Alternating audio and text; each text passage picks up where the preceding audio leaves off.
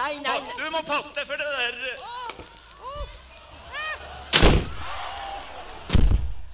Da, Den røk transformatoren òg.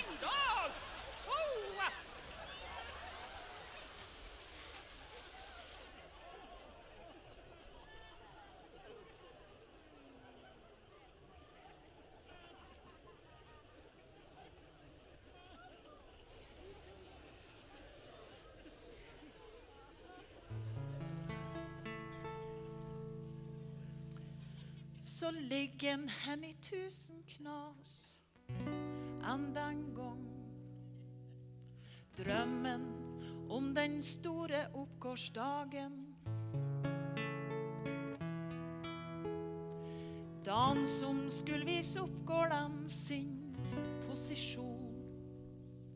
Og ordføreren sin helt personlige seier.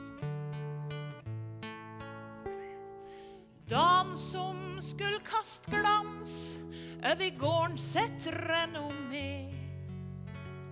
Men det vart en annan dans. Hvordan kunne de henne skje? Det skulle glitter, det skulle skin, for å minne og ta med. Men her ligger i ruin.